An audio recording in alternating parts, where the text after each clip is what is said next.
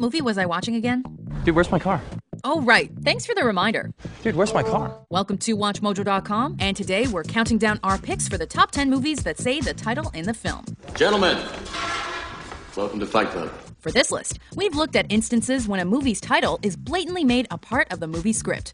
Soylent Green is made out of people. To be in contention, the title has to be made up of two or more words, and we aren't including character names. We got a Black Hawk down, we got a Black Hawk down. Number 10, The World is Not Enough. If he's true in what he says, then just what is enough for James Bond? It may be one of the less memorable movies within the franchise, but this has to be one of Bond's best comebacks. Pretty thing. You had her too? 007 isn't exactly a stranger to the odd title drop, although the words don't always come directly from his mouth. But this one is delivered particularly well. I could have given you the world. The world is not enough. As Elektra proves more dangerous than desirable, what better way to shut her up than with the Bond family mantra? Foolish sentiment. Family motto. Yeah, we know, this isn't the first Bond film to make the title a catchphrase. What a you? To a kill. Number 9, Do the Right Thing. Boom. Come. There was a nice setup to our first entry, but in Do the Right Thing, we're taken a little by surprise, in a good way. This is the mayor talking. All right, all right. Mookie's going about his daily pizza business when he's pulled to the side by Da Mayor for a short and sweet heart to heart. Doctor, Come on, what, what? always do the right thing. The guy doesn't have to say too much because the little that he does say is heard loud enough. That's it. I got it, I'm gone.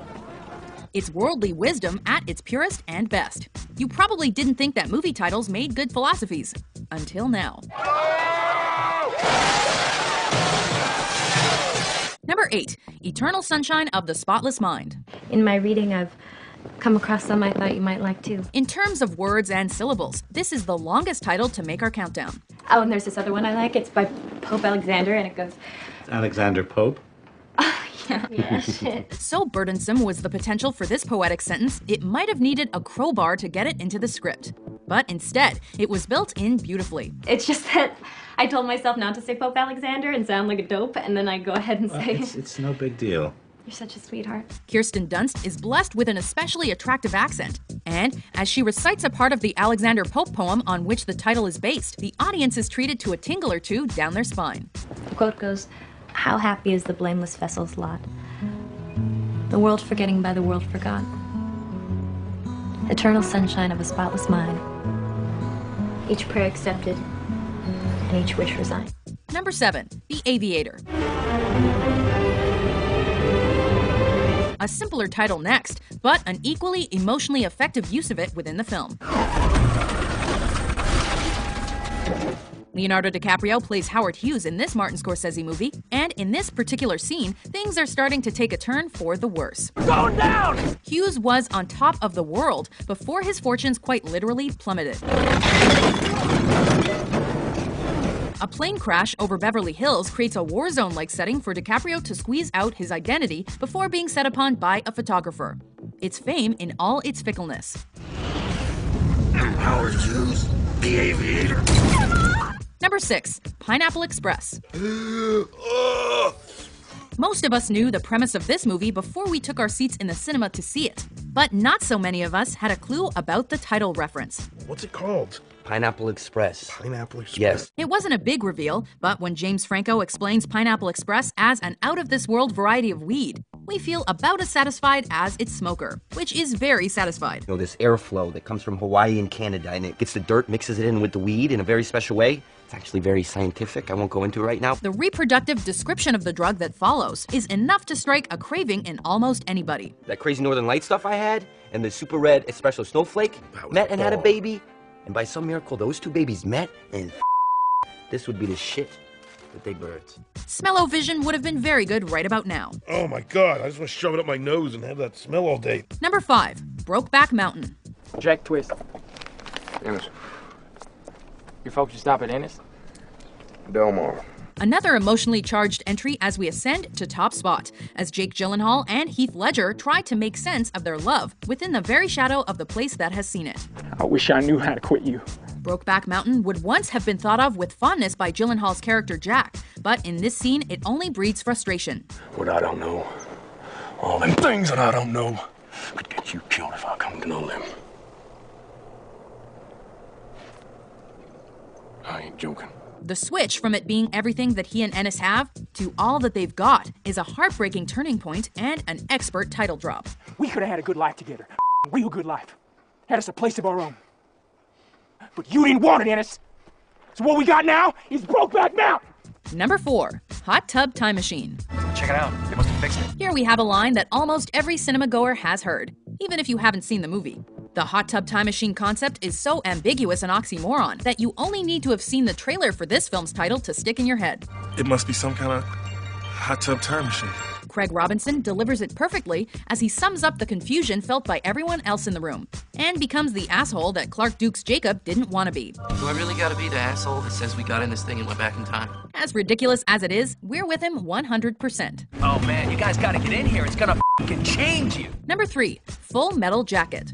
Sir, yes, sir! Private Pile may have lost his mind more than a little in our next scene, but he's remembered to title drop, and he does so spectacularly. Hi, Joker. Here, the soldier snaps, and he takes his problems into the bathroom, as is typical in a Stanley Kubrick film. Perfectly drilled, but drilled to insanity. He's locking, loading, and laying down the law. 762 millimeter. Full metal jacket. Full Metal Jacket is just one of many memorable lines in this sequence as we see the very whites of the guy's eyes and Sergeant Hartman badmouths his last. Didn't mommy and daddy show you enough attention when you were a child?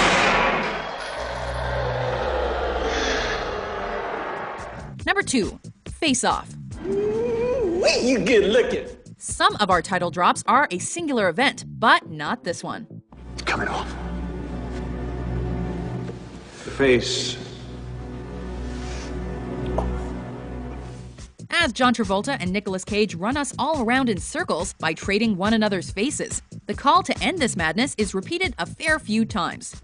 I'd like to take his his face off. On the one hand, the title is muttered too many times to be natural, but on the other, it's an indication of the madness behind the mask. You want to take his face? Yes. His face. It's almost full marks to face off.